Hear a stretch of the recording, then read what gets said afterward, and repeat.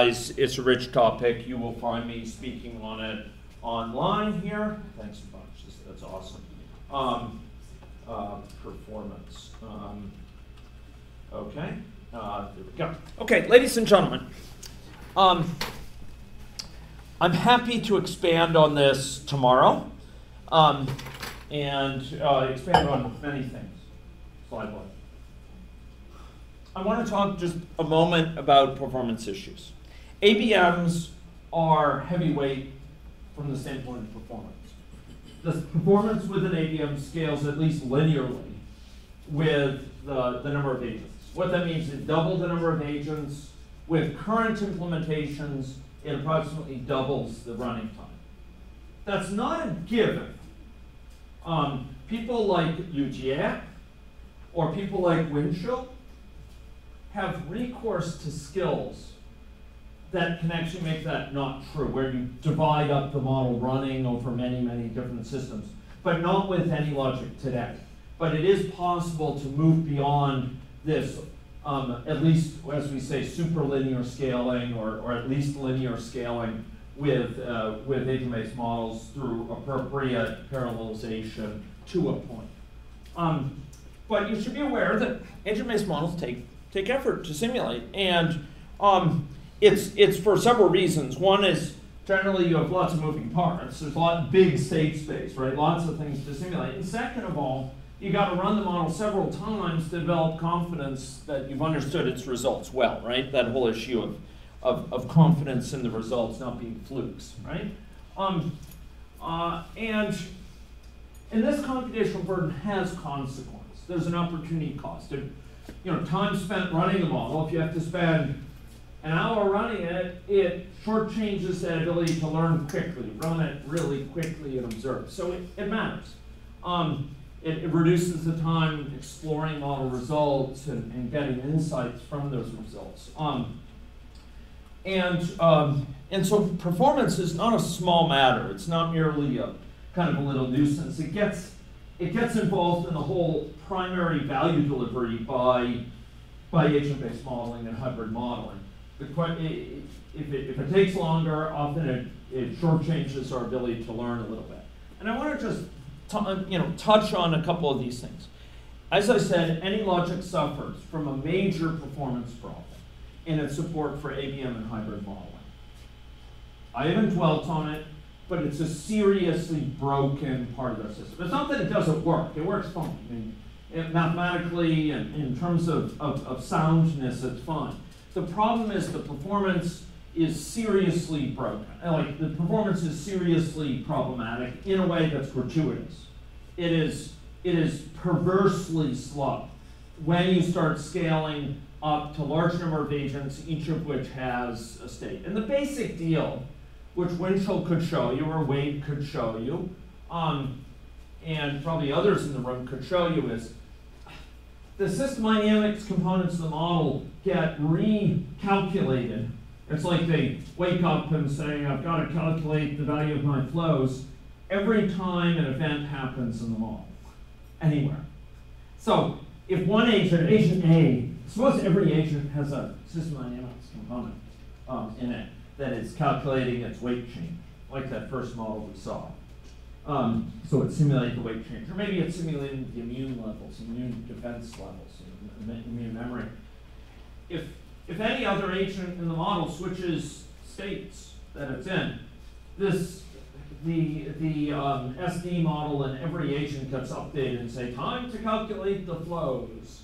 Um, and it goes through every, every agent, even though, you know, it's like that agent over there didn't have anything relevant to your flows. Um, you would think it would be smarter, but it's not. it's trying to be careful. I get that. I get that as a software engineer.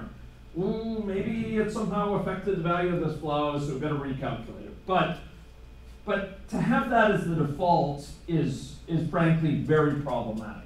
And what this leads to, if you have a model where agents have system dynamics within each agent, this becomes untenable above like 10,000 agents or 20,000 agents. It just starts to crawl the model, okay? Um, I will note that in NetLogo, I've been told it breaks down over 30,000 agents just for standard ABMs, but that was several years ago, and I don't know that that's still in fact the case. It may be, uh, or it may not be.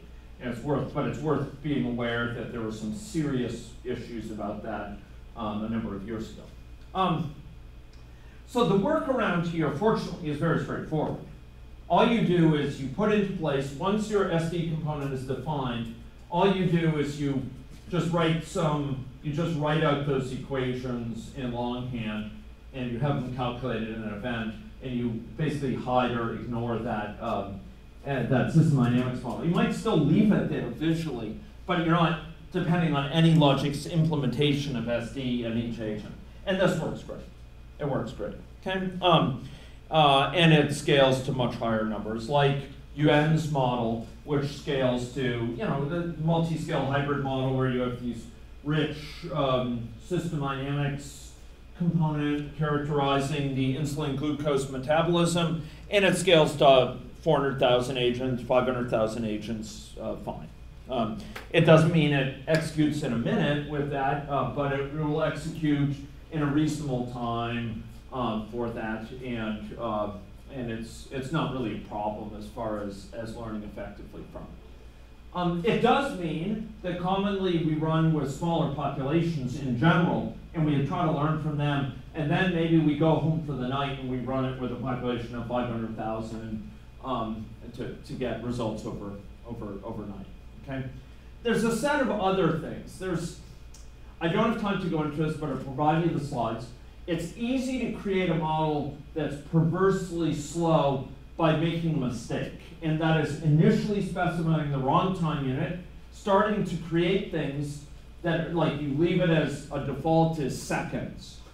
and, and so you choose seconds as the time you start creating things in your model that actually, without you noticing it, occur in seconds. And then you go back and you change it to hours. It's not going to automatically correct those earlier things and things will be going on in your model needlessly frequently, like updating graphs every second, when really you're interested in years of time.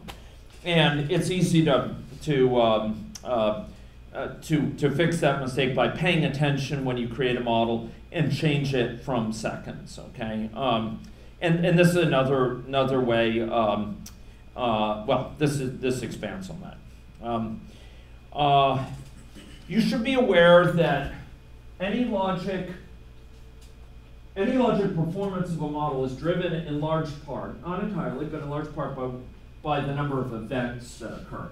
And if you're sending needless events, like I, I one time was asked by a colleague, um, sent an email saying, my AnyLogic model is untenably slow, I've got a presentation two days from now, help me. and, I, and I said, okay, Windchill, uh, take a look. Um, and actually, I'm not sure. I think I did show it to Winchell at one point. I think I fixed it myself. Um, it took about five minutes um, for me to look at and say, oh, okay, that's it. Um, it was just, it was sending an event, you know, like hundreds of times a day. Each person was sending an event hundreds of times a day, and it didn't need to be. And it was pretty clear. Um, uh, in other cases, we run tools on it. So we have these tools that are common Java tools, but they run on AnyLogic. It's one of the advantages of not having a weird language like NetLogo, but, but having Java as our language. It, it lets us run these common tools, which are widely used by software developers, and we can kind of diagnose what's taking a lot of time in the model, what's taking a lot of space, what's allocating so much memory. And so if you look at the the tools that Lugia will run or Windchill will run. Um, uh, these are these are tools called profilers, and they'll tell you what's going on um, in the model and what, what's taking a long time. They give you hints, at least, as to what's what might be taking a long time in the model. And in fact, that's how I found the problem with her um, was was by using those. Um, okay, um, some other suggestions. Uh, so lower event frequency, um, uh, don't have uh, visual elements um, uh, updated that frequently. Um, uh, there's some things you can do, clever ways to compute statistics that can compute them incrementally rather than doing full sweeps over the population. I mentioned the profiler.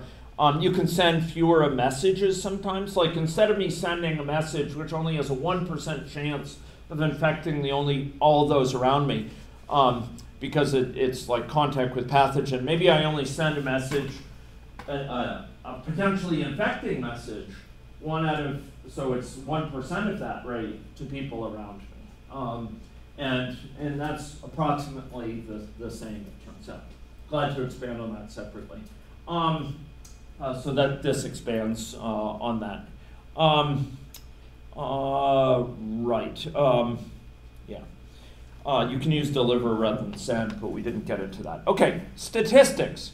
Um, it turns out that AnyLogic provides very nice ability to declare statistics for a model. You can basically say, count the number of people who are infected, or count the number of people who are susceptible, or count the number of people who are in this age category and infected.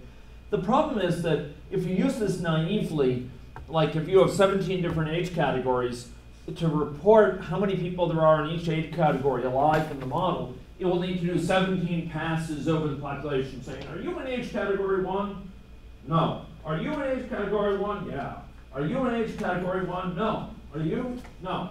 And then at the end of that, after you know 100,000 agents, they'll come back to the beginning and say, are you in age category two? Yeah. Are you in age category two? Uh, are you in age category two? Uh, um, are you in age category two?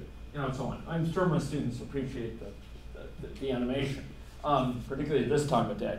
Um, so, ladies and gentlemen, if, at some point, just be aware the statistics um, are conveniences, but at some point you might want to do it in a little bit of a clever way. And we have some really sweet, clever ways of doing it. Um, if you wanted to ask me about it, and I have models which I think demonstrate them quite nicely. Um, okay, key thing. AnyLogic visualizations are one of are a real asset of that platform. The ability to visualize what's going on, I've argued, often gives insight. You notice patterns you wouldn't have noticed otherwise. NetLogo has a similar advantage. ModGen, you're dealing with tables output probably. Not as nice. Um, and Repast, well, you can write your own visualization code, but it's not nearly as nice. Visualization in AnyLogic is a significant asset.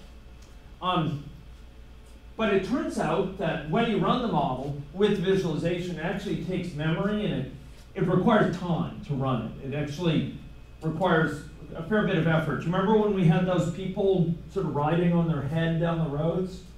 I know that sounds awkward, but it's down under and they're upside down. So, I've been to Melbourne and I, I can tell you I wasn't riding on my head. Um, but uh, the point is that, um, uh, that visualization takes effort, okay? And it turns out that there's a really easy way to avoid this. And I won't have you open this, but I'll just note that if you go and um, and create what's called a parameter variation experiment. Okay, you go and um, uh, you you end up um, creating a rather than a regular experiment, you create a parameterization experiment.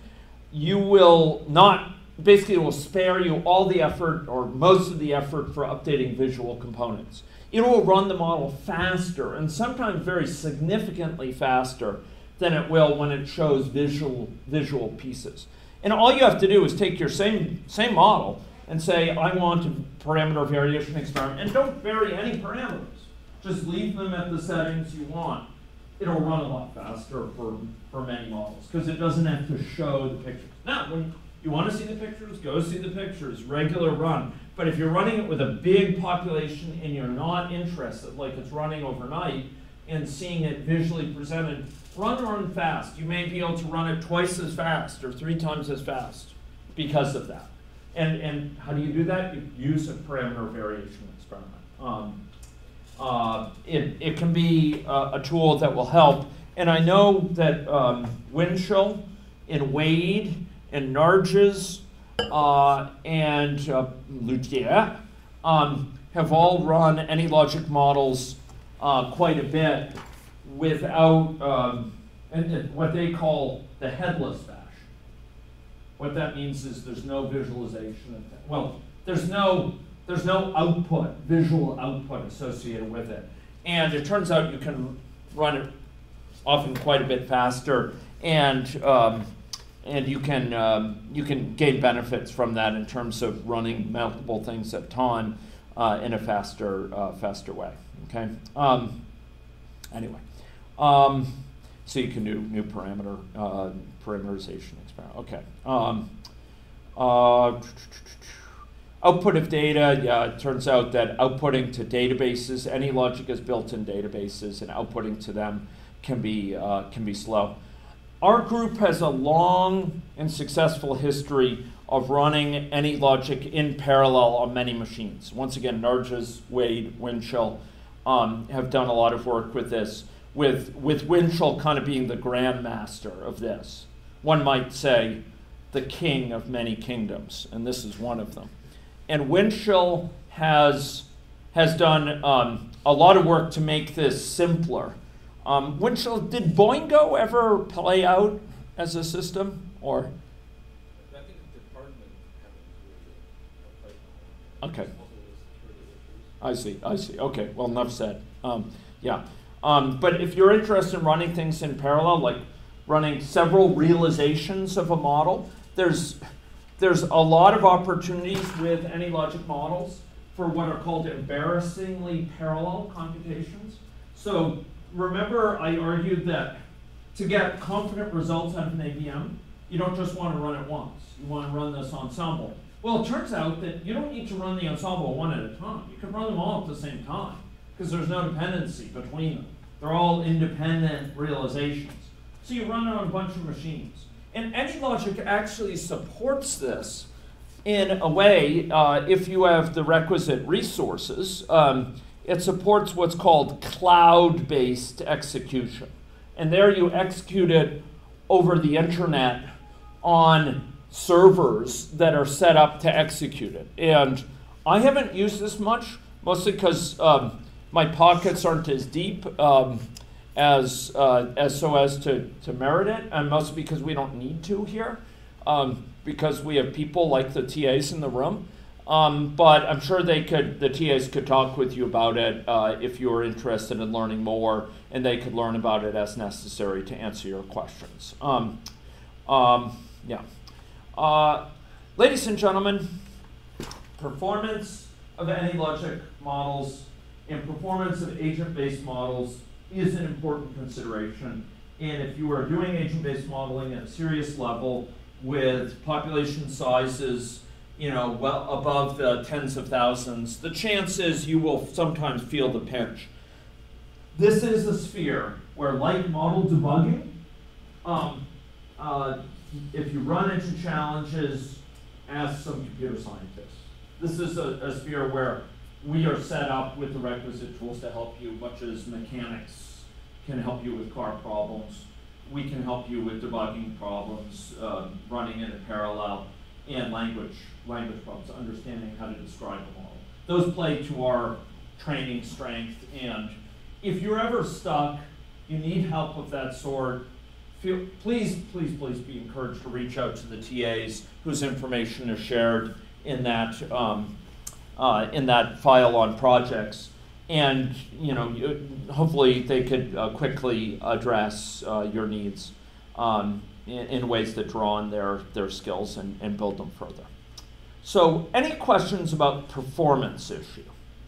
If, if you're interested in this more, tomorrow will be a great time to work with TAs. Any questions? Yeah. Uh, more around um, number of agents to select.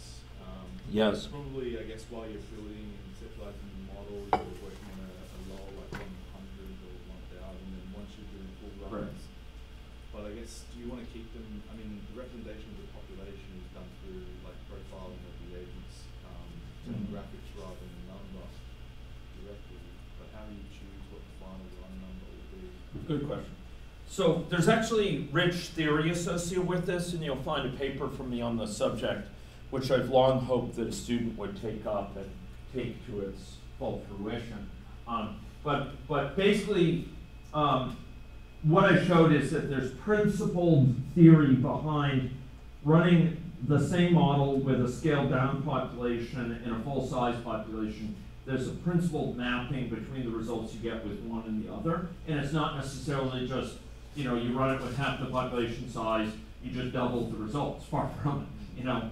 Um, it actually relates to the dimensional quantities involved and so on. Um, suffice it to say that you're bang on that at a practical level, we often run these models with smaller populations. But you have to be thoughtful about that.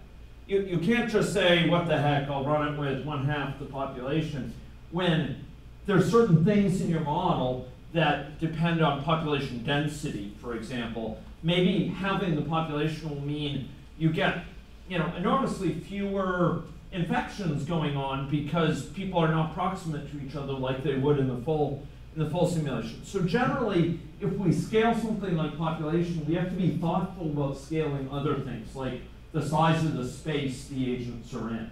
Because to keep constant certain quantities like density of the population. Um, you know, imagine that with networks, right? You have a radius around you which you're connected.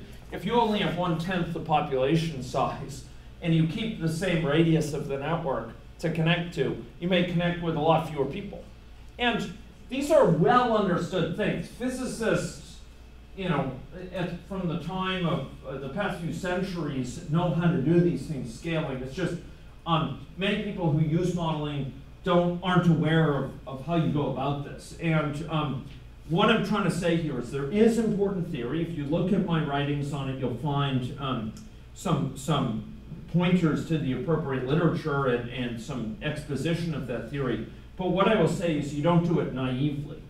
Um, but at a practical level, my students routinely, like day in, day out, they'll run their model on a small population, kind of test it out, um, and you know if they do something broken, like don't shrink the size of the space, I'll, I'll point it out. Um, but basically, they'll run it on a small population, and then they'll do some runs with larger populations. You know, maybe they'll run it overnight on a large population, or once a week they'll run it on a large population, um, and and or larger population. And then maybe leading up to a paper or a conference or whatever, you run it on like a full size population or a, a much larger population. So if you talk with Wade or you were to talk with Winchell, um, you'd probably find, or, or, talk with Yuan about her DIP model, um, you'd probably find that in these models designed to work with hundreds of thousands of agents, most of the runs they run historically um, might be with much smaller numbers. It's just they're frequently enough running it with a large population that they realize nothing is, is problematic. Visualization load is often also depends on the number of agents. If you have agents running around on your screen, it's got to do a lot of work for those agents. But you're right, it may not scale totally linearly because, um, you know, it's a small window on a bigger population, and, and it may be that it's smart about not not updating all the ones off the screen, but it will probably allocate memory for them. So it's a complicated story. But the basic picture is you go back and forth between small and large, and um, you want to make sure you run it with a large, somewhat large population enough you're not fooling yourself that you know it breaks or something with that. And then sometimes you'll want to gear up and you have production runs where you run it with a, a bigger population and, and maybe overnight or over the weekend or something. Wait, have I missed anything in that in characterizing that that you think very important? It's not smart enough to not do it. Okay. It's So it- really dumb about that, your Speak on, young man. Yeah, it's all in memory. It draws them all, even if they're off the screen. It's if you if you get more if you have actually agents moving around and you have more than ten thousand agents, it'll probably on most laptops be close to unusable. Really? So it's smarter to use like the headless runs to like find a way. Use a parameter variation experiment. That's that's a good way for beginners to do it, but there's other issues that it doesn't resolve. Like memory allocation. Yeah. Yeah, yeah. Is, is that the same if you've got like um like a number of clinics or like can you just be smarter about how you dedicate a single icon? Maybe it equals you know, a shopping center rather than Right. a single shop, like. Oh, yeah, yeah, yeah. Oh, for sure. Yeah, Like, you oh, could- big time. Yeah, okay, If, if you, you can have agents with no icons, yeah. and that represents a huge savings. You can actually, there's an ignore Yeah. checkbox in pretty much everything in AnyLogic. And you can have icons and then ignore them, and then it's like they're not even there as far as the running model.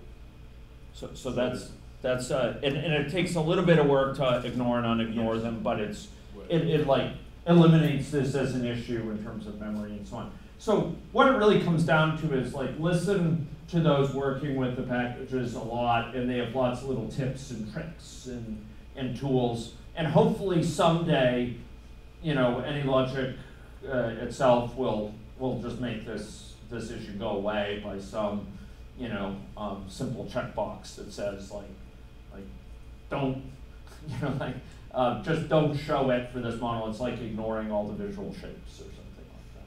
Um, but uh, yeah, there's some there's some complications there, but that's the gist it. Okay.